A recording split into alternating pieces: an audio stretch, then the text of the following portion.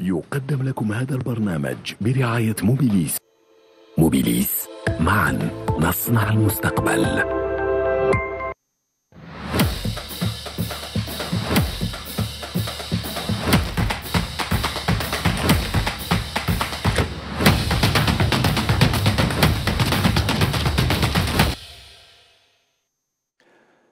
Passionnés de football, bonsoir. Je suis heureux de vous retrouver pour ce nouveau numéro de Stade 24.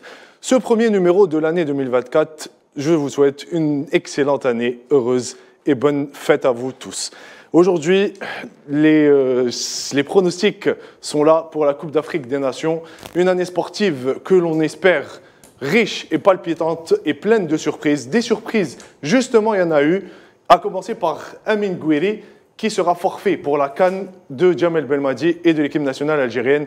Aujourd'hui, l'équipe nationale s'est envolée pour Lomé, là où se déroulera le stage de l'équipe nationale au Togo avant la Coupe d'Afrique des Nations. Pour me, pour me, me rejoindre ce soir, euh, Yazid Jumaa, c'est une première. Euh, Bonsoir, je suis très content de vous avoir aujourd'hui avec moi. Merci Sid Ahmed, bonsoir. Merci pour l'invitation. Bonne année pour euh, tous les Algériens déjà. Merci à vous, très bonne année aussi. À vos côtés, un habitué, c'est la deuxième fois, Mohamed Oueleb, journaliste. Il y a le, soulier d'or et il y a la plume d'or qu'on devrait euh, donner à Mohamed Oueleb. Heureux, de vous retrouver, bonne année à vous. On m'intimide à, chaque fois que je viens ici. Donc, euh, merci euh, pour les compliments déjà et bonsoir aux téléspectateurs et té- téléspectatrices et merci pour l'invitation. Avec plaisir. Merci. Et euh, pour euh, nous rejoindre aussi via euh, Skype à partir de Paris, j'ai le plaisir et l'honneur de recevoir euh, Bilal Achourtani. Euh, bonsoir Bilal, heureux de te retrouver encore une fois. J'espère que tout va bien, que les fêtes de fin de fin d'année se sont bien passées et euh, bonne année à vous aussi euh, du côté de Paris. Oui, bonsoir, bonsoir tout le monde, bonne année, euh, plein de bonnes choses, meilleurs voeux à, à tous les téléspectateurs. Merci à vous. Vous restez avec nous, euh, vous serez avec nous euh, tout au long de l'émission. Alors messieurs, euh, on va commencer cette émission. Au sommaire, on parlera de l'équipe nationale algérienne, de cette conférence de presse de Jamel Belmadi, mais aussi dans des hauts et des bas, du derby algérois qui n'a pas tenu ses promesses, il faut le dire encore une fois, et la fameuse question du jour, ça sera l'homme en noir, les hommes en noir dans notre championnat, vous l'avez compris, les erreurs d'arbitrage, faut-il incorporer la VAR aujourd'hui dans notre championnat? Alors, pour euh, Yazid Mohamed Jum'a, euh, première euh, question, la liste de Jamel Belmadi, vous l'avez vu comment? Bah, c'est simple, je pense que le coach a, déjà parlé plusieurs fois sur sa liste. Il a défendu sa liste déjà dans la conférence de presse. Une liste à 26, ju- à 20 à 26 joueurs pardon, au départ. Maintenant, on sait que Amin Gouiri ne figure plus parmi, le groupe de l'équipe nationale suite à sa blessure. Moi, je trouve que c'est une liste équilibrée, euh, bien étudiée déjà, avec des doublures euh, dans chaque poste.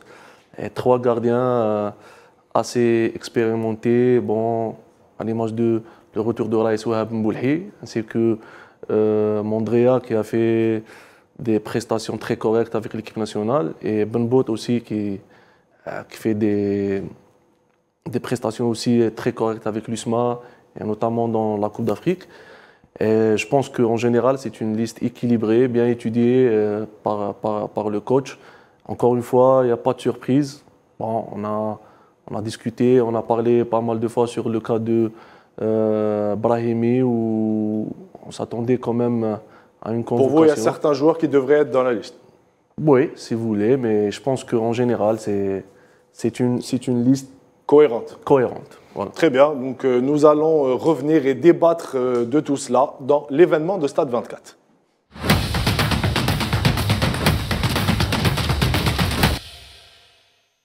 Alors pour plus de détails, je vous propose de voir le sujet qui nous a été proposé par Salah Faisal et on revient. L'Algérie participera à la compétition africaine pour la 20e fois de l'histoire. Le sélectionneur national Jamal Belmadi a convoqué 26 joueurs pour prendre part à la 34e édition de la Cannes Côte d'Ivoire 2023. Dans la liste de Belmadi, on trouve 12 champions d'Afrique en 2019 et elle contient 4 joueurs qui jouent au championnat local. 26 guerriers relèveront le défi et chercheront la troisième étoile, un cocktail de jeunesse et d'expérience avec deux critères en commun, le talent et l'amour du pays. Au poste du gardien de but, Belmadi a retenu trois noms. L'expérimenté Raïs Wahab Mboulhi, Anthony Mandria et le brillant Benbout disputeront leur première canne. En défense, le sélectionneur national a fait appel à neuf joueurs. Les habitués Issa Mandir, Ami Ben Sebaini, Youssef Attal, Tougaï jouera sa deuxième canne, tandis que cinq joueurs découvriront pour la première fois l'ambiance de la Coupe d'Afrique. Il s'agit de Guiton Nori, Laroussi Touba et Belid. Au milieu de terrain, Belmadi a convoqué sept joueurs de classe mondiale. Ismail Ben Nasser qui revient d'une blessure, Nabil Ben Taleb, Faris Shaibi, Boudaoui, Firouli, Awar et Ramiz Rouki. Sept attaquants pour le rendez-vous continental avec pour capitaine Riyad Mahrez, le brillant Amora, Adam Mounes, Gouiri, Bounjah, Blaili et Slimani. Avant l'entame de la Cannes, les Verts disputeront deux matchs amicaux, le premier face au Togo vendredi 5 janvier et le second mardi 9 contre le Burundi. Une liste cohérente, donc euh, nous le disions, euh, Jamel Belmadi euh, en a parlé lors de la conférence de presse. Mohamed Touaileb, aujourd'hui, il y a le cas, on va essayer de partir sur les compartiments, à commencer par les gardiens de but. Il y a le retour de Raïs Wahab Mboulhi. Est-ce que c'est une surprise pour vous ou pas vraiment, on s'y attendait? Non, ce n'est pas vraiment une surprise parce que c'était déjà dans, les tuyaux en début de saison quand il avait rejoint le CRB. Il était dans une idée de, se relancer ici en Algérie. Je pense qu'il a fait de, bonnes prestations jusque-là. On dira qu'il a mérité sa, convocation, son retour en équipe nationale. Après ce retour, est-ce qu'il lui garantit la place de numéro titulaire. 1 de titulaire à la place d'Amandré qui a déjà pris ses repères en livrant de très bonnes prestations les derniers temps, notamment face au Sénégal, l'Égypte et, la dernière en date face au Mozambique. Donc je pense euh, qu'il y aura match parce qu'il y a d'un côté l'expérience de Mboulhi, de l'autre côté il y a la fougue de Mandrea qui a su saisir sa, sa chance et donner des garanties à. On verra sur qui se portera le choix de Jamel Belmadi. Évidemment. Parce que vous l'avez dit, il y a Mandrea qui s'est installé euh, sur les, dernières, euh, sur les dernières rencontres, notamment face au Mozambique, où vraiment il laisse euh, notre équipe en vie sur la première mi-temps. Et il y a aussi l'expérience de Mboulhi qui, qui, jouera sa sixième canne. Il jouera sa sixième canne, il a 96 sélections à son actif. Peut-être il, il, vise le mur du sang, comme on dit. Donc. Je pense qu'il y aura un match. Après, ça dépendra du contexte des, matchs. Peut-être qu'il y aura plus de pression. Et au vu de ses prestations, Mohamed, au vu de ses prestations au championnat avec le CRB et en Champions League, est-ce que vous pensez qu'il peut prétendre à cette place de numéro 1 Moi, je ne pense, pense, pas qu'il s'agisse de, des prestations dans l'immédiat, mais dans l'acquis et le bagage de, le background qu'il a. Qui a un, un, grand background avec 96 sélections le mettre sur le banc, ça sera, ça sera compliqué. On ne va pas dire impossible parce que Belmadi devra prendre des, décisions, des décisions très, très vitales pour le groupe. Donc on verra ce qui, ce qui en sera après le, premier match. On aura des indications certainement. Exactement. Là, euh, je me tourne vers euh, vous, Bilal. Euh, je sais que vous suivez de près l'actualité de notre équipe nationale. Alors, pour le, pour le poste de gardien de but, ça jouera entre Mandrea et Mboulhi. Maintenant, il reste euh, la ligne défensive. Il y a le, forfait euh, du euh, joueur qui joue à gauche, Ait Nouri, qui était blessé et qui revient. Donc, est-ce que vous pensez que c'est une défense qui est déjà ficelée ou est-ce qu'il y a la place pour d'autres de gagner une, certaine place de titulaire en vue de la Cannes. Je pense notamment à Belaid qui, qui, a été appelé pour cette Cannes, qui jouera sa première Cannes de l'histoire. Euh, effectivement, euh, c'est d'Ahmed, il y a pas mal de questions qui peuvent se poser sur la défense. Euh, c'est le secteur qui semble, au vu de la liste, le plus, le plus fragile, je dirais, compte tenu du contexte que, tu as très bien rappelé. maintenant, opérer des changements défensifs à, à la veille d'une canne me paraît quelque chose d'assez périlleux. à mon avis, Jamel Belmadi va compter sur sur, euh, sur la défense qu'on a pu euh, voir sur les dernières rencontres avec les joueurs disponibles. Je pense donc notamment à, une charnière centrale euh, composée de Mandi et, Ben Seberni, et puis, et puis en, latéraux, la présence d'Aït Nouri si jamais, si jamais il est disponible physiquement. Donc a priori, nous ne devrions pas avoir beaucoup de, de changements sur l'aspect défensif. En tout cas, ce serait risqué d'en avoir à la veille de la canne. Euh, je vois plutôt moi une, continuité et, peut-être quelques ajustements euh, selon les, euh, les, états de forme physiques du moment. Exactement. Donc aussi le chantier, le gros chantier Yazid, je me tourne vers vous. se situera au milieu de terrain. C'est un compartiment qui, jusqu'à présent, peut-être que pour les défenseurs, on a une idée précise de comment va jouer le sélectionneur avec quatre défenseurs. Ils sont peut-être en place avec quelques incertitudes au vu de, Non, si de vous la méforme. Ahmed, euh, lors de la dernière conférence de presse, le coach euh, justement a répondu sur une question par rapport à, à la défense de l'équipe nationale où, où il a dit clairement je préfère jouer avec une défense plate, avec un gaucher et un droitier. Je pense que Ça, c'était pour l'axe central. Exact. Oui. Je pense que euh, euh, Ben Sebaini ainsi que Mandi sont là et ils ont la totale confiance du coach. Après, ça reste entre Touga et, et sur, sur, sur le profil de droitier. Et je pense que justement, c'est Bled, il est là. Je pense que justement, c'est pour, pour faire pousser un petit peu Touga, et sachant qu'il a fait un, vraiment pas un match pas très correct fa- face au Mozambique. Face au Mozambique. Donc euh, voilà, donc ça reste entre, entre ces deux joueurs-là. Et sinon, sur, euh, sur, euh, sur le côté axial gauche, je pense que Touba est là pour, pour remplacer Ben Sebaini. Ben Sebaini. Sinon, pour le milieu de terrain, je pense que. Voilà, mais moi, moi, c'est plus sur le milieu de terrain que je voudrais avoir votre Ah avis. ouais. Parce qu'on se demande, est-ce que ces deux matchs amicaux qui vont arriver, Jamel Belmadi Hmm. va essayer de faire en sorte de mettre en place deux systèmes de jeu différents? Est-ce qu'il va jouer avec une sentinelle ou est-ce qu'il va jouer avec deux joueurs euh, à la récupération? Telle est la grosse question. Et qui va être titulaire dans le milieu de terrain? Bah, tout dépend, tout, tout dépend de l'adversaire. Je pense que Jamel a toujours préféré jouer avec une sentinelle. Et attention, il y a aussi le retour de Ben Taleb, qui, qui devient justement une pièce maîtresse dans cette sélection. Et avec le retour aussi de euh, Ismaël Ben Ismaël où il a commencé récemment titulaire avec le Milan AC. Je pense qu'il est déjà prêt. Et pour les gens qui disent, enfin, pour les connaisseurs ou Les spécialistes. les spécialistes, voilà, qui disent que, euh, ok, Ben Nasser, il sera vraiment prêt euh, dès, dès- dès- dès le deuxième tour. Est-ce qu'il y a un, un entraîneur qui peut vraiment euh, faire jouer, euh, à l'image par exemple de Ben Taleb et, euh, et l'autre qui joue euh, Zerrouri. et dès le deuxième tour on fait rentrer euh, Est-ce que, est que Ben va comprendre ça? Est-ce que Zerrouri va, va gober ça? Mais je pense que généralement c'est ce trio et probablement avec, avec Ferroli ou Jamel. Jamel adore ce joueur et, et voilà. Mais Farouli peut être la surprise. Il peut démarrer pour vous, il peut être titulaire. euh, ben, connaissant Jamel Belmadi, je pense que oui. Mais après, l'indiscutable, c'est Ben Taleb avec, avec ses prestations avec l'équipe nationale.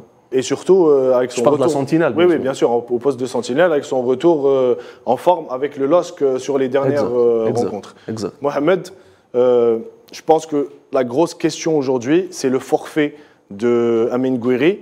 Et en sachant que Amora sera suspendu et ne jouera pas le premier match, est-ce que c'est un coup dur pour l'équipe nationale, le, le for- le forfait d'Amin Gouiri, pour vous Euh, Ou c'est c'est un joueur qui peut être euh, remplacé euh, Non, sur ces deux matchs? C'était un coup dur dans, dans la mesure où c'est un profil assez atypique, un profil qu'on n'a pas en attaque d'Algérie parce que c'est un très bon joueur de ballon déjà. Il peut, il peut évoluer dans un poste de 9,5, dans un poste d'avant-centre un peu excentré à gauche. Donc il, il offrait une certaine flexibilité offensive à l'équipe nationale, je crois, qu'elle n'aura plus avec euh, ce forfait-là. Jamal Belmadi lui faisait confiance. Il a fait débuter lors de ses quatre derniers matchs. Il, il a- il pouvait jouer quatre matchs, il a débuté les quatre. Donc il avait confiance en lui. De Et il avait la, la confiance du sélectionneur aussi. Bien sûr, il avait la confiance, la confiance euh, du, du sé- du sélectionneur. Par exemple, à titre d'exemple, on va citer Awar qui n'a pas pu débuter lors euh, de ses premières sélections. Il a été un peu géré, managé oui, être vrai. incorporé dans le groupe. Mais il y avait quand même besoin immédiat d'un joueur de, de la qualité de Gouiri que Belmadi voulait incorporer. Il l'a fait. Il l'a fait jouer à quatre reprises. Euh, il, il a, il a été bon dans une certaine mesure dans le poste de 9,5 face à- au Cap Vert notamment. Il a, il a eu un très bon rendement. Mais à gauche, au poste de Youssef Bled, il était un peu à la peine parce que ce n'est pas un joueur qui, qui peut jouer dans, dans un petit espace. Il préfère. Mohamed, est-ce que c'est vraiment son poste là ou- Non, c'est pas son poste. C'est pas son poste. Je Non, pense. je pense que son poste de prédilection, c'est de jouer en 9,5, 9,5. juste derrière l'attaquant. Est-ce qu'il a déjà Derrière joué ça en sélection? Est-ce qu'il a eu la chance de jouer Oui, il a, joué, il, a joué Un en match, tant, je pense. il a joué en tant qu'un 9,5 face au Cap Vert. Hmm. Il, a joué, il avait un très bon rendement. C'était son meilleur match d'ailleurs. Exact. Il pouvait marquer à Constantine, il pouvait marquer et tout. Mais après, euh, face à l'Égypte, en attaquant de pointe un peu isolé, il était à la peine. On l'a vu en plus face au Mozambique et à la Somalie, à gauche. il n'avait pas assez de marge de manœuvre pour euh, montrer ce qu'il pouvait faire euh, avec le ballon. Mais je pense que son forfait, dans une certaine mesure, c'était un, coup dur. Maintenant, c'est au, sélectionneur de, décider de, s'il va, va le remplacer avec un autre joueur ou pas. De toute façon, qu'il le remplace ou pas, il n'aura pas le, un profil comme, euh, comme, comme C'est un, Justement, vous, une, me, une perte pour vous me tendez la perche. Je me tourne vers Bilal. Bilal, est-ce que je sais que vous suivez de près le championnat de Ligue 1 en France? Donc, euh, est-ce que pour vous, Jamel Belmadi a les solutions pour euh, remplacer euh, Amin Gouiri avec pas beaucoup de choix qui lui restent sous les mains Il reste quatre joueurs. Et est-ce qu'il devra le remplacer ou, à votre avis, ça sera suffisant pour aller à la canne avec ces attaquants-là ben, c'est une, bonne, question. Je pense qu'il y a pas mal de, choses intéressantes qui ont été dites sur, sur Amin Gouiri. Effectivement, on ne peut pas remplacer un joueur de cette trempe et de ce talent-là. Et quand on sait qu'il a été euh, euh, voulu et espéré euh, par Jamel Belmadi pendant plusieurs mois, on, sait que, c'est des joueurs qui, sont difficiles à, retrouver d'un point de vue de la qualité technique. En revanche, j'ai le sentiment que le fait de ne pas remplacer le joueur peut être aussi une solution d'un point de vue du management pour Jamel Belmadi parce que ça lui permet aussi bah, de resserrer un petit peu plus le groupe, de faire jouer une concurrence peut-être un peu moins importante sur certains postes qui peut aussi permettre de libérer certains joueurs. Euh, si on parle du côté gauche, on a quand même euh, euh Mohamed Amoura euh, qui, est, qui est en place, Youssef juste derrière. Avec Amin Gouiri, ça faisait aussi un troisième concurrent au poste. On peut citer aussi Shaibi qui peut jouer euh, au poste d'ailier gauche. Donc ça, faisait quand même pas mal de monde euh, sur, sur un seul et même côté. Pareil pour, pour le duo devant. On sait que lors des dernières compétitions, Jamel Belmadi ne voulait pas justement tripler les postes. On pense euh, aux absences d'Andy Delors à l'époque où euh, il expliquait qu'il souhaitait plutôt euh, ouvrir le poste à deux attaquants de pointe uniquement. Donc pareil, est-ce que, est que ça vaut le coup de rajouter un troisième attaquant quand on a une concurrence entre Bunjer et, Slimani? Donc à la fois c'est un peu compliqué de répondre parce que on perd un élément très important d'un point de vue de la qualité technique, mais de l'autre, ajouter euh, ajouter une pièce à, cet effectif, c'est aussi se rajouter euh, une problématique de management. Est-ce que euh, Jamel Belmadi va plutôt combler par de la polyvalence? Moi, j'ai l'impression qu'il prend plutôt cette voie et que quand on parlait du milieu de terrain aussi tout à l'heure, ben, plus, plus de place devant, ça fait aussi des solutions au milieu de terrain pour, pour aligner tel ou tel joueur. Donc, moi, je vois plutôt le groupe rester à 25 et, et, Jamel Belmadi jouer sur, sur la polyvalence euh, de, son, de son groupe plutôt que sur un ajout euh, potentiel. Donc pour vous, euh, le Jamel Belmadi, le sélectionneur, choisira la stabilité, il restera avec 25 et il y a des joueurs qui il fera jouer la polyvalence. Il y a aussi Ounas qui peut jouer à gauche, on a oublié Adem Ounas qui est polyvalent aussi, il ne joue pas que sur le côté droit. Donc pour vous, il n'y aura pas de joueur qui suppléera Amin Gouiri Non, j'ai pas l'impression, j'ai l'impression que tous les postes sont doublés. Euh, que ce soit à gauche dans l'axe ou à droite. Et il l'a dit aussi en conférence de presse, pour lui, ajouter euh, une liste élargie, c'est aussi euh, des difficultés dans la, dans, la, dans la gestion du groupe par poids. Donc je le vois bien rester sur, sur cette liste. Merci, la transition est toute faite. Je vous propose d'écouter Jamel Belmadi en conférence de presse sur la liste des 26. Dans cette liste, il y a effectivement des joueurs qui ont pu déjà participer à, au moins deux cannes avec moi et, euh, et plus, et plus euh, euh, avec d'autres sélectionneurs. Donc ils ont une certaine, une certaine, expérience, mais ça c'est le, le cas de, de toutes les équipes nationales d'Afrique. Et effectivement, on change pas d'effectif comme ça à 100% en fonction des différentes cannes qui arrivent tous les deux ans. Donc c'est pas pour rien qu'il y a des joueurs qui font 4, 5, 6 cannes, même certains. Euh, c'est le, temps d'une carrière, d'une bonne carrière, on va dire, internationale. Et il y a aussi une partie euh, de joueurs qui, euh, qui vont découvrir cette compétition âpre, difficile, et qui vont apprendre à connaître et vont devoir apprendre rapidement, parce qu'on part avec certains objectifs et certaines, certaines ambitions. Donc voilà, c'est un, un, va dire un, mix entre, entre des joueurs euh, avec une certaine expérience et d'autres euh, qui vont découvrir.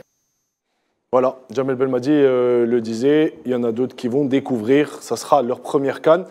on est d'accord sur ce qui est de la liste, elle est cohérente. on attendra de voir sur les deux prochains matchs amicaux, à commencer par le Togo. En parlant de Togo, je voudrais juste revenir sur le lieu et le stage de l'équipe nationale. Pourquoi le choix du Togo aujourd'hui, à votre avis? On sait que nos adversaires se préparent, euh, l'Angola et le Burkina Faso sont aux Émirats, à Abu Dhabi, la Mauritanie se prépare en Tunisie. Donc euh, est-ce que Jamel Belmadi ne serait pas un petit peu superstitieux euh, par rapport à ce qui se faisait avant, par rapport à la Cannes 2019 Aujourd'hui, c'est la première fois que l'équipe nationale se prépare en Afrique et qu'on a le temps de se préparer. ce stage durera 10 jours. Donc à votre avis, est-ce le bon choix d'être allé à Lomé, au Togo? C'est un choix qu'il faudra assumer parce que, en gros, il n'y avait pas, avait pas, d'autre alternative parce que c'était hmm. soit la Guinée équatoriale, soit le Ghana. Il y avait le Ghana aussi. Voilà, le choix s'est porté sur le Togo en raison de la disponibilité des, adversaires, comme il a expliqué. Les sparring partners. Belmadi. Il y a le Togo et le Burundi qui pourront, qui pourront jouer une fois là-bas. Donc voilà, Rappelons que face au Togo, ils joueront face à l'équipe A prime. Ça ne sera pas l'équipe A. Et parce que ce ne sera pas une date FIFA, que le Togo n'est pas qualifié à la, la Coupe d'Afrique des Nations, donc ils n'auront pas accès aux joueurs, euh, internationaux qui évoluent en Europe. Avec la présence du public face au Togo. Voilà, donc, euh, deuxième match, c'est à huis clos. Voilà, donc Belmadi a voulu mettre ses, joueurs dans, dans un climat de, de, de, match officiel en présence du public et tout, parce que dans un premier temps, il, avait opté pour le huis clos, mais il a fini par euh, se raviser. On sera un peu dans, dans l'ambiance de la Cannes. C'est une configuration qui ressemble un peu au match de la Cannes. Il les mettra dans, dans, des conditions réelles par rapport à la Cannes. Je pense que c'est un bon choix. Il faut assumer, comme, comme disait Mohamed, ça va pas être facile, attention. Hein. Gérer le groupe pendant euh, 10 jours. Et on peut quand même rester en Côte d'Ivoire si, si on arrive quand même à aller jusqu'au bout. On peut passer plus d'un mois là-bas. Donc, euh, courage pour Jamel et son staff. Hein. il faut s'adapter aux conditions. Ah il faut euh. s'adapter aux conditions, il faut savoir gérer le groupe. Vous avez joué au plus haut niveau, c'est Ahmed oui, c'est très ah difficile de jouer donc, euh, donc, euh, Surtout en Afrique de l'Ouest où il y a beaucoup d'humidité. Exact. Donc euh, après pour le Togo, je pense que c'est, je pense que c'est un bon choix. Si, si les joueurs arrivent à s'adapter, à accepter la charge de travail, ça va pas être facile. Mais je pense qu'on a quand même un bon groupe, on va dire très professionnel. Moi j'ai assisté récemment à à Al Ain, à Abu Dhabi, où j'ai vu le comportement des joueurs et tout. Je pense que ça va être dur, c'est vrai, mais ils vont quand même accepter et s'accrocher pour. Euh, ils ont cette rage et pour faire euh, justement euh, vraiment plaisir au peuple ou, et rectifier le sort justement concernant la dernière canne. J'espère, Inch'Allah, que ça va être la bonne. L'élimination amère en 2021, où nous étions sortis au premier tour. Exact. Alors, messieurs, Bilal, je me tourne vers vous. Le débat est ouvert, vous pouvez intervenir à tout moment. Bilal, est-ce que sur ces deux matchs, vous pensez que, d'ailleurs Jamel Belmadi l'avait dit en conférence de presse, sur ce premier match, il donnerait plus de temps de jeu à certains joueurs qui sont en manque et qui n'ont pas beaucoup de temps de jeu dans les jambes? Et sur le deuxième match, on se rapprocherait un peu plus de la Cannes et on sera à 5, 4 jours, 4 jours du premier match de l'Algérie euh, face à l'Angola. Donc est-ce qu'il y aura deux équipes, deux schémas différents? Comment vous voyez ces deux matchs euh, amicaux? Ouais, la, la, question est très bien euh, posée, euh, Sidi Ahmed. On a, on a deux options. La première, c'est de, de, répondre aux interrogations des états de forme. Je crois que ça a été parfaitement rappelé euh, tout à l'heure par, euh, par Yazid et Mohamed. On a des joueurs qui reviennent de blessures, qui font en plus partie de ce qu'on pourrait appeler l'équipe type, ou en tout cas les tauliers de, cette, de cette équipe nationale. Donc, euh, va y avoir un double challenge. Un, c'est de tester les formes du moment, et deux, de conforter un système de jeu.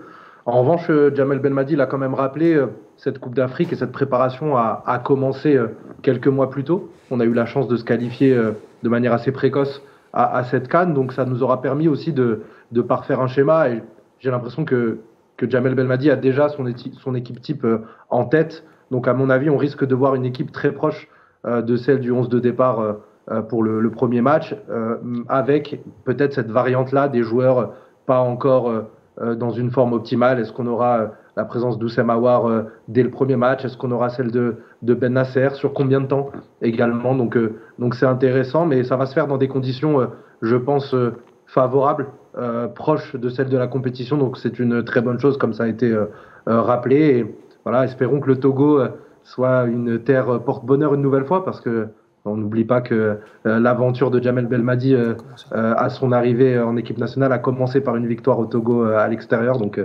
souhaitons la même baraka à l'équipe nationale là-bas. C'est tout le mal qu'on souhaite à Jamel Belmadi et à ses hommes. Donc, messieurs, est-ce que pour vous, on est vraiment dans cette configuration-là? Est-ce qu'on va être sur un premier match où on va donner la chance à certains joueurs d'être dans le rythme et plus on se rapprochera de la compétition et plus il mettra en place l'équipe qui pourrait débuter face à l'Angola. Et n'oublie pas, Sidi Ahmed, qu'il a déjà commencé à travailler déjà avec Attal et Slimani, qui, sont à l'arrêt depuis, plusieurs jours justement, à Sidi Moussa. Plusieurs semaines. Plusieurs semaines même, donc euh, surtout, surtout Attal, hein. donc, et Islam qui revient de blessure aussi. Et, et on va jouer euh, l'Angola comme euh, premier adversaire euh, déjà match d'ouverture à la Cannes. Et lors d'une question justement à la conférence de presse, Jamal Belmadi a dit que si vous voulez, on a une idée parce qu'on a joué le Mozambique. À peu près, c'est. C'est des colonies portugaises. Le, si, le football, c'est un peu le même football pour le Mozambique. exactement, entre les deux nations. Et cette, cette, cette équipe euh, d'Angola. Depuis 2010, c'était le dernier match justement. C'était euh, à la Cannes 2010. 2010. On a fait match nul, je pense. Zéro partout, je Et, ce qui est remarquable, c'est que on a joué plusieurs matchs face à cette équipe. On a, on a deux victoires, une défaite et je pense sept ou, ou match, nul. match nul. Donc euh, ça nous donne des idées déjà. C'est une défense ou c'est une équipe qui défend bien, mais qui marque. C'est vrai qu'il n'encaisse pas beaucoup de buts. Exact. Il n'encaisse pas beaucoup de buts. Tout à fait beaucoup de buts, pardon, mais il ne marque pas beaucoup justement, mais euh, ben, je pense, j'imagine qu'il a étudié ses, adversaires et, j'espère que euh, ce premier match justement, on doit, le gagner pour. Euh, ah oui, c'est important de bien débuter dans ah une compétition pareille. On l'a vu en 2021 où on avait très mal débuté par un match nul, puis une défaite inattendue euh, face euh, à la Guinée équatoriale. Donc, lors de ce genre de tournoi, il faut bien euh, gérer son premier match et essayer de gagner par tous les moyens. Ça vous ouvrira les portes des, des, quarts de finale par la suite. Mohamed, je poserai une question comme ça, directe. Nous ne sommes pas favoris pour cette canne du moins sur le papier, pas sur les, les quatre qui, qui iront peut-être en demi-finale. Ils sont, que, enfin, tout le monde dit que ça sera la Côte d'Ivoire, le Sénégal, le Maroc et euh, l'Égypte qui seront dans le dernier carré. Est-ce que c'est une bonne chose? Oui, Côte d'Ivoire, pays organisateur. J'ai commencé par la Côte d'Ivoire. Donc, euh, en 2019, personne ne nous attendait. et euh, on l'a vu, on est allé match par match, crescendo, on a gagné en confiance. Est-ce que pour vous, aujourd'hui, le fait de ne pas être favori peut être une arme pour l'Algérie? Qui est une équipe en reconstruction, rappelons-le. On n'est pas favori dans, l'état d'esprit, mais, mais, sur papier, on fait partie des favoris quand même. Bah déjà, aux yeux des Algériens, on est favoris. On va là-bas pour euh, gagner la Coupe d'Afrique, c'est même le sélectionneur et les joueurs qui le disent, parce qu'ils ont les, moyens humains déjà de, faire un bon tournoi. Et la fédération, avec le, président Walid Sadi, selon Jamal Belmadi, est en train de mettre tout en œuvre pour euh, que la, sélection se prépare bien pour euh, le tournoi. Après, même si on n'est pas favori, on est outsider, mais on va pas, on n'a pas le droit de, jouer les petits bras dans, dans la canne, parce que il y a une l'équipe nationale doit, doit se ressusciter à la Cannes 2023 pour faire oublier le, la débâcle de, 2021. Ils étaient attendus. C'est dur d'étraîner le titre de, champion d'Afrique. Il y a une certaine pression. Mais là aussi, je, je pense que Jamal Belmadi aura toujours cette même pression de, de faire un bon tournoi déjà pour, euh, pour regagner du crédit en tant que sélectionneur. Parce que je sais qu'intimement, peut-être il, sait qu'il n'a pas le droit à l'erreur cette fois. Je suis tout à fait d'accord avec, euh, avec Mohamed. On, est, on fait partie des favoris. Peut-être pas le, favori numéro un ou dans le trio, mais on reste quand même un des favoris de, de cette Coupe d'Afrique. Très bien, monsieur. Madame, monsieur, vous restez avec nous. Une petite pause et on revient.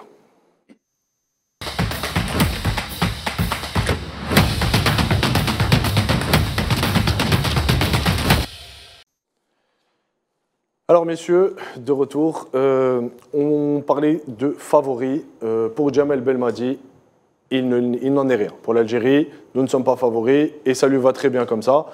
Je pense que c'est une manière d'enlever un peu de pression sur ces joueurs et euh, de ne pas faire comme il l'avait fait en 2019, où il disait clairement qu'il allait en Égypte pour ramener la coupe. Aujourd'hui, Jamel Belmadi dit qu'il va aller le plus loin possible. C'est une manière de faire Il redescendre un peu la pression. où il a dit on va, Oui, bien on va sûr. y aller pour gagner. Donc, euh, C'est normal. Après, les attentes et, euh, de chaque euh, sélectionneur, à chaque fois qu'il débute sur un tournoi pareil, c'est d'aller le plus loin possible. Mm. Mais je pense que c'est une manière de faire redescendre un peu la pression euh, sur ces joueurs, notamment parce que jouer euh, en Afrique subsaharienne, ça ne nous, nous réussit pas trop, euh, on va dire. Les seules fois où on était allé euh, très loin se comptent sur les bouts des, les bouts des doigts. Euh, C'est Quand on est c'est proche du vraiment- Nord. Exactement. proche du Nord. Tout à fait. Donc je vous propose d'écouter euh, Jamel Belmadi sur ses favoris. Bon, les favoris, c'est toujours, euh, toujours c'est souvent les mêmes. hein. Souvent les mêmes. Euh, on les connaît. euh, L'Égypte, euh, le Sénégal, le Maroc, euh, Tunisie, euh, Nigeria, Côte d'Ivoire. Côte d'Ivoire, pour moi, gros gros favori. Joue à domicile, ils ont une grosse équipe cette année. Toutes ces équipes-là sont, prétendantes au titre. Je ne pense pas quelqu'un qui peut, qui, qui peut avoir avec certitude euh, assuré euh, qui, qui va gagner de ces équipes-là. Euh, nous, on part avec une position d'équipe qui ne s'est pas qualifiée, à la Coupe du Monde dernière, qui, est, sortie au premier tour. Vous me l'avez tellement répété, donc je peux vous le dire, qui est sortie au premier tour de la, de la dernière canne. Donc nous, on n'est pas, on pas favoris. hein. De facto, on n'est pas favoris, puisque, puisque nous n'avons pas obtenu tous ces, tous ces résultats. Ensuite, euh, voilà, dès qu'on rentre dans le tournoi, euh, par exemple, une équipe comme le Burki- Burkina Faso, c'est une équipe qui est régulièrement en demi-finale, par exemple. Voilà. Il y a des équipes comme ça, très difficiles. Il y a des équipes comme le Mali, des équipes comme la Guinée, Conakry. Des équipes qui peuvent être des- des grosses surprises, parce qu'il y a de la qualité dans ces équipes-là. On va arriver tranquillement dans, ce- tournoi, mais avec euh, doucement mais sûrement, beaucoup beaucoup d'ambition. On travaille, euh, pour ça depuis un moment. On, a certaines euh, certitudes. Voilà, il y a certaines certitudes, il le dit lui-même, mais nous ne sommes pas favoris. Bilal, je me tourne vers vous.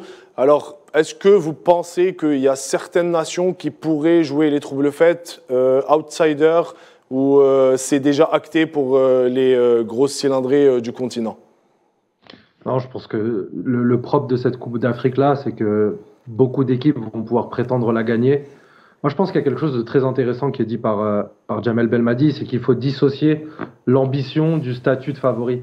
À la Cannes 2019, l'ambition de l'Algérie était de la gagner, on parlait d'ambition, et le statut de favori, c'est quelque chose d'un peu, d'un peu bourbier, parce que c'est euh, c'est dire quelle équipe sera la mieux placée à date pour remporter la compétition. Et, de ce fait-là, je comprends qu'on ne place pas l'Algérie comme favori parce que sur les résultats récents, euh, l'Algérie sort de deux échecs, ce qui n'est pas le cas euh, des, des autres nations qu'on a citées. Ça veut dire qu'à date, aujourd'hui, ces nations-là partent dans l'esprit des gens avec peut-être un peu plus de chances de l'emporter. Ça, c'est le statut de favori. Maintenant qu'on a mis ça de côté et qu'on se dit que ce statut-là, bah, c'est juste la forme du moment, évidemment qu'il faut y aller avec l'ambition de, de jouer les troubles faits et plus même de vaincre et de, et de, de gagner cette, compéti- cette compétition. Et j'ai l'impression que c'est le discours que, que continue de, tenir Jamel Belmadi, de dire voilà, on- n'est pas favori, mais on part avec l'ambition euh, de la gagner, et c'est comme ça que l'équipe d'Algérie doit se comporter, euh, sans se mettre la pression d'une équipe qui est attendue, parce que on le sait, et vous le savez aussi mieux que moi, vous qui suivez l'équipe nationale,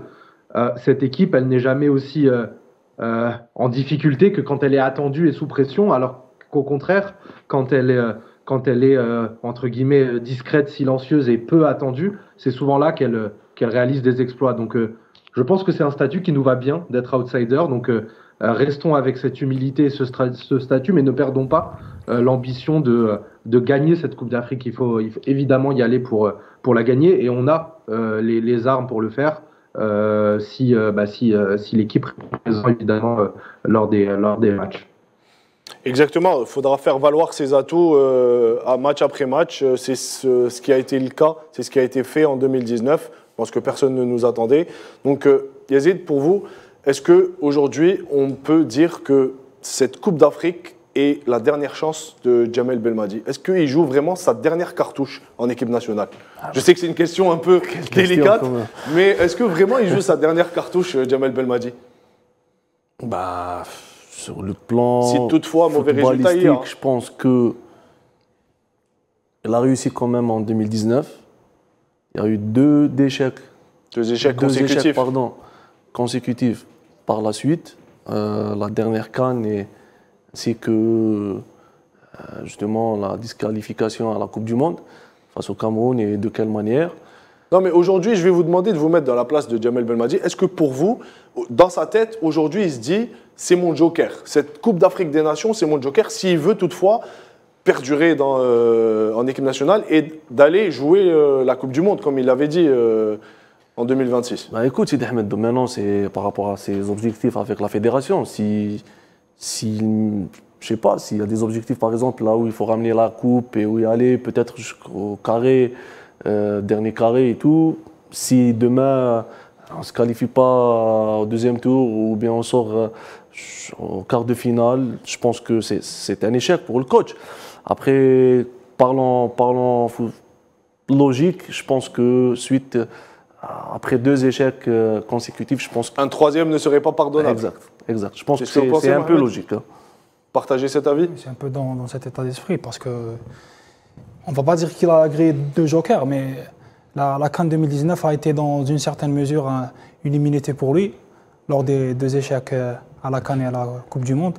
Mais là, intimement, je pense que Jamal Belmadi, Ça lui a valu d'être encore à la tête euh, des Verts. bien évidemment, je pense déjà par rapport au peuple, à, à son crédit vis-à-vis de l'opinion publique, je pense que Jamal a besoin de faire un très bon parcours dans cette Coupe d'Afrique des Nations. Il en a les moyens. Il peut, il peut le faire.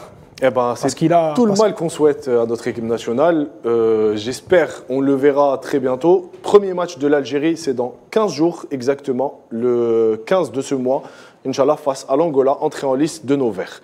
On sait- ça sera tout pour euh, cette équipe euh, nationale, pour la liste de Jamel Belmadi. Maintenant, place à Déo et débat.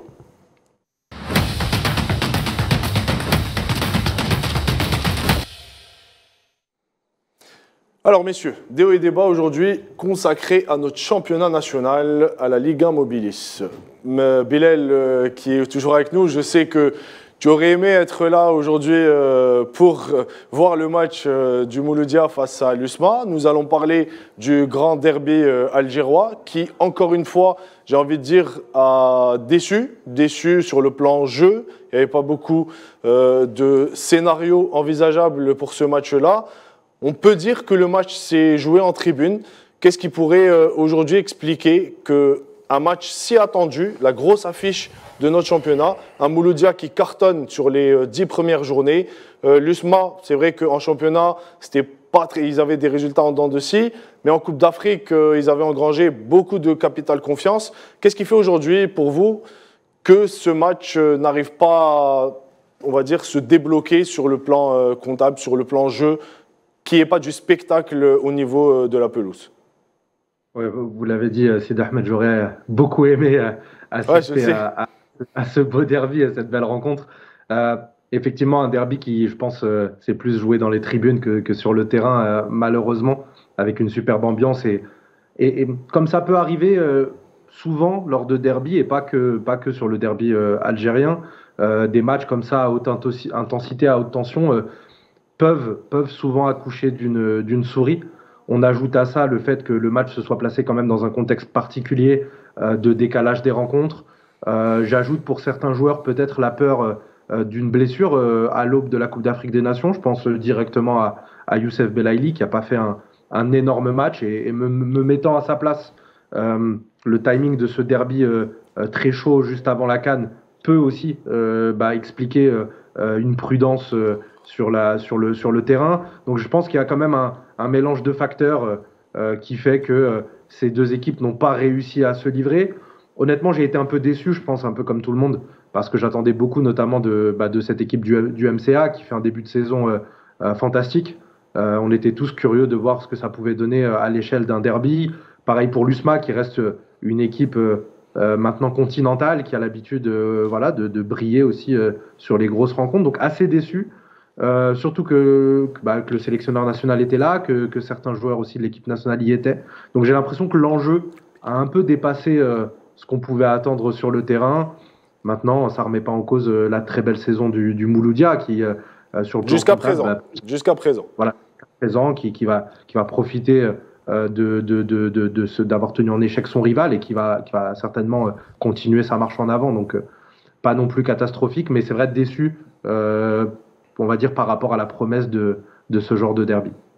Exactement, Mohamed Yazid, aujourd'hui, est-ce qu'on peut dire que l'enjeu a tué euh, le jeu ou est-ce que les joueurs n'étaient pas au niveau de ce qui s'est fait dans les tribunes? Parce qu'on a vu de, belles, de belles, euh, vraiment de belles images, des tifos, des craquages, de l'animation. C'était vraiment un derby digne des plus grands derbys euh, mm. mondiaux. Donc, qu'est-ce qui fait aujourd'hui, à votre avis, que le niveau sur le plan jeu ne soit pas au niveau des tribunes bah, Peut-être, je ne suis pas très d'accord avec vous. Hein. Et après, ce n'est qu'un avis. Je pense que dire qu'il n'y avait pas. Il avait pas un bon match, il y avait pas sur le terrain, il y avait, les joueurs n'étaient pas vraiment à la hauteur. Moi, je pense que ce n'est pas le cas. Euh, c'est Ahmed, vous avez sûrement joué le derby avec Mouldia. Oui. Euh, Mouldia, justement, son leader avec 20 points d'écart. Euh, Après, parfois, il y a des 0-0 qui sont beau à voir et il y a des 0-0 qui sont ennuyants. C'est pour ça que je dis ça. C'est vrai que c'était un derby, c'est vrai que c'est un Lusma Mouldia, c'est Lusma qui reçoit déjà. Donc 20 points d'écart entre les deux équipes. Moi, hmm, l'analyse que je fais, il y a un Juan Garrido qui ne veut pas perdre. Et sachant que Lusma euh, joue, joue elle a une bonne défense qui défend bien aussi. Le Mouloudia. Lusma joue en bloc. Exact. C'est ce qu'ils ont fait. qui joue en bloc et il part sur le principe d'avoir une bonne défense et gagner des titres.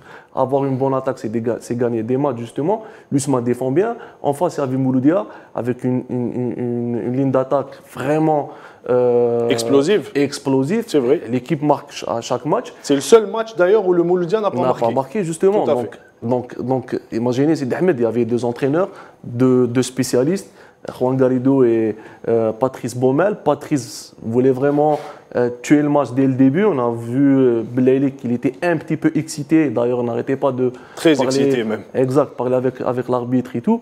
Je pense qu'il y avait l'enjeu, il y avait des duels, il y avait, avait, y avait des balles arrêtées, justement, où Blaili. pouvait marquer non, mais sur une quand je dis, loin, des corners, loin des corners. il n'y a pas eu de jeu, hmm. je parle sur le plan technique, techniquement, je pense que le derby n'était pas au niveau.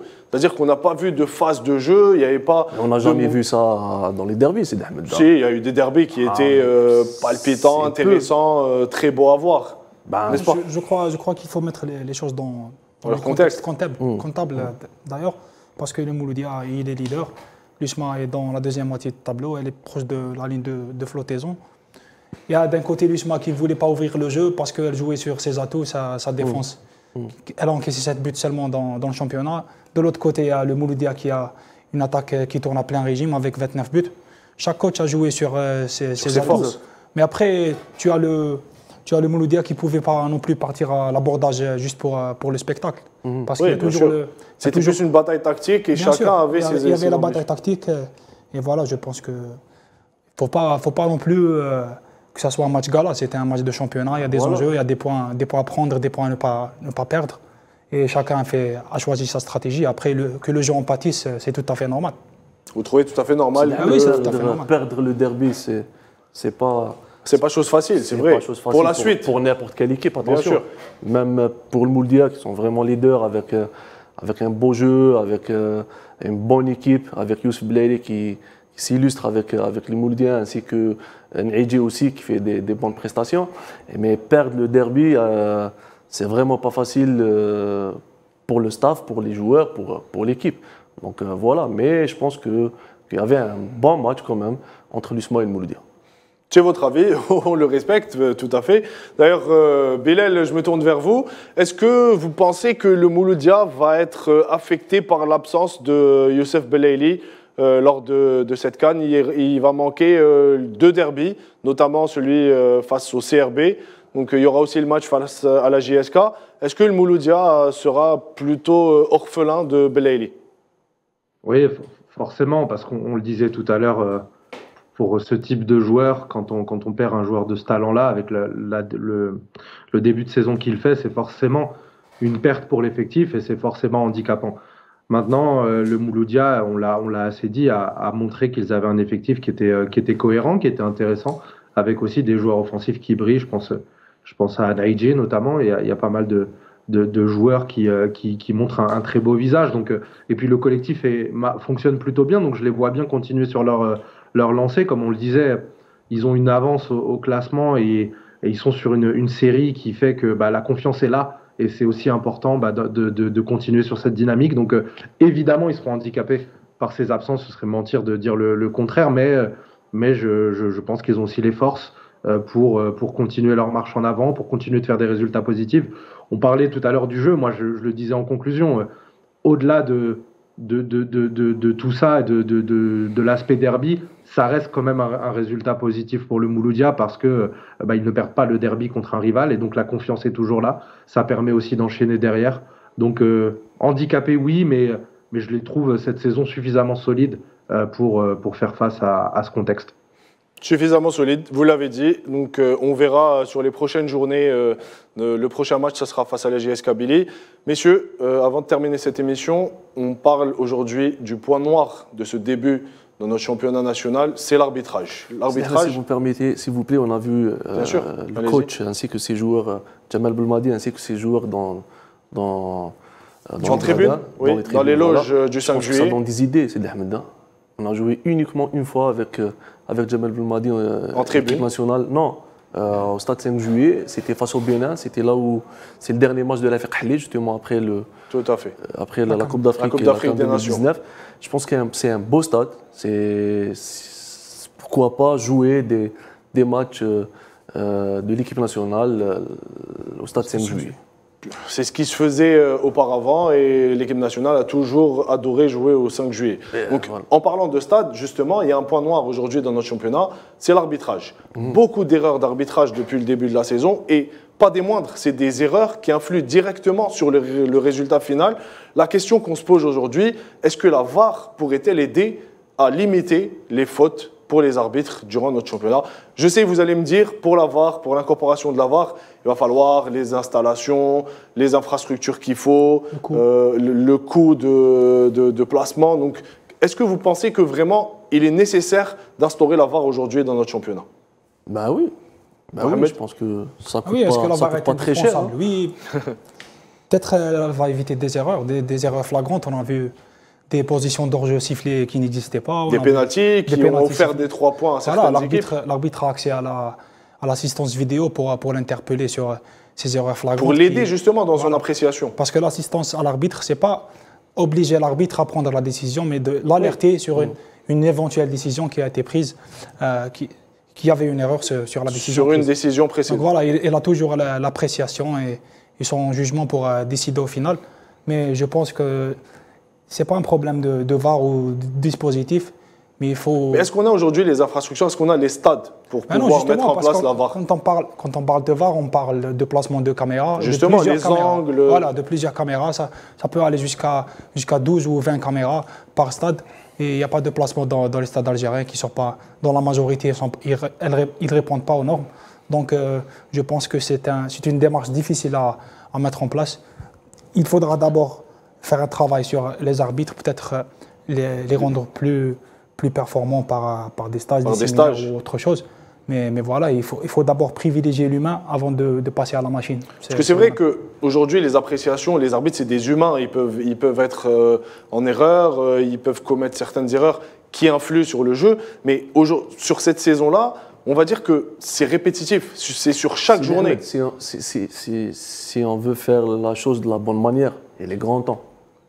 Pour un championnat Si on professionnel, joue- je pense qu'il le faut. Si on joue maintenant dans des stades comme Miloud Hadfi, euh, on joue au stade 5 juillet, au stade Nelson À Mandela, Constantine, à Zamlaoui. Cheikh Hamlaoui, à Constantine, à Annaba, euh, à Chlef aussi. Oui, c'est-à-dire qu'il faut sortir de ces petits rénové. stades, euh, communaux. Voilà. Donc si on veut faire euh, un championnat euh, et donner Attractif. respectable et avec Oui. une bonne image, il est grand temps de le faire. promouvoir un peu le championnat Voilà. national parce que, excusez-moi Yazid, quand on voit les images du derby euh, Mouloudia-Usma, c'est vraiment un spectacle et c'est ce qui se fait de mieux sur le continent. C'est- Voilà. Si ce n'est le meilleur derby aujourd'hui en Afrique. Exact. Après, euh, vas-y Mohamed. Non, mais le problème des décisions arbitrales en Algérie, c'est parce que ça, ça engendre et ça cause des, des suspicions. Ça va, ça va, ça va jusqu'à accuser l'arbitre de ne pas être impartial et, Mm. et de, de, pré- de- de favoriser. Ça ouvre favoriser- la porte à des spéculations Ça- ça ouvre et ça porte fait en sorte que certains présidents de clubs peuvent avoir une mainmise sur euh, Il n'y a pas d'autre l'arbitrage. Il faut y aller, il faut y aller justement à, à la VAR, il est grand temps.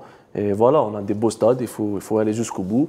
Et Inch'Allah, euh, dès la saison prochaine, Inch'Allah, il y aura la VAR dans les stades de- du championnat algérien. On l'espère. Merci beaucoup Yazid. C'est sur ces euh, mots qu'on terminera euh, notre émission. Merci à vous. Merci euh, Bilal d'avoir été avec nous. C'est toujours un plaisir de t'avoir avec moi. J'espère te revoir bientôt. Bonne année encore une fois et merci encore. Merci, merci pour l'invitation et merci tout le monde sur le plateau. À, à très bientôt. Merci Yazid. C'est, Merci, ce fut un plaisir. C'est une première. Total régal, comme d'habitude. Total régal. Merci, Bah, ça passe tellement vite. fier, euh, je suis très fier de vous. hein. Merci J'ai beaucoup. toujours dit que vous avez le potentiel et, et le charisme pour Merci euh, animer beaucoup. une émission. Ça et me fait plaisir. Je suis fier de vous. Merci beaucoup Yazid. À la prochaine. Inch'Allah. Mohamed, merci encore une fois Merci d'avoir accepté mon invitation. C'est très Merci, à la gentil. prochaine. À la prochaine. Ah, exactement, la plume d'or. On doit lui attribuer. Madame, monsieur, euh, merci encore une fois d'avoir euh, été fidèle à notre émission. Moi, je vous dis euh, bonne soirée, bonne année encore une fois. On se retrouve lundi prochain. Et merci encore à toute l'équipe qui a été présente pour cette émission. Au revoir.